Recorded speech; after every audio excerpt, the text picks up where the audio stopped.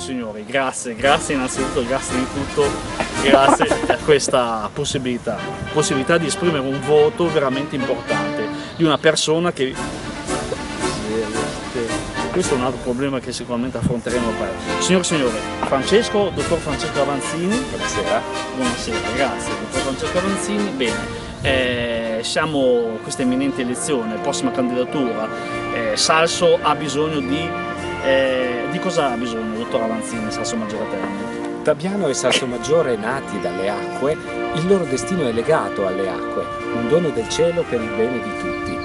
È necessario proseguire, possibilmente avviare un nuovo processo di privatizzazione dell'azienda termale, vigilando innanzitutto sulle reali volontà dell'acquirente e assecondando progetti che comportino il rilancio e la valorizzazione eh, dell'intero paese.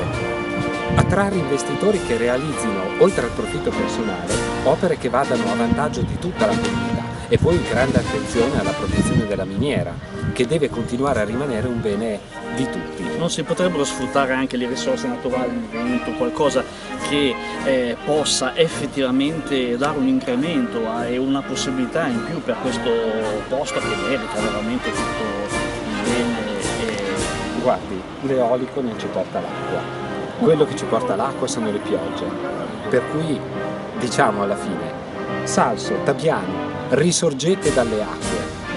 È quello che volevamo sentire, è quello che volevamo sentire, ma noi non ci accontentiamo perché noi eh, siamo un po' ormai un po' diffidenti, siamo un po' come dire.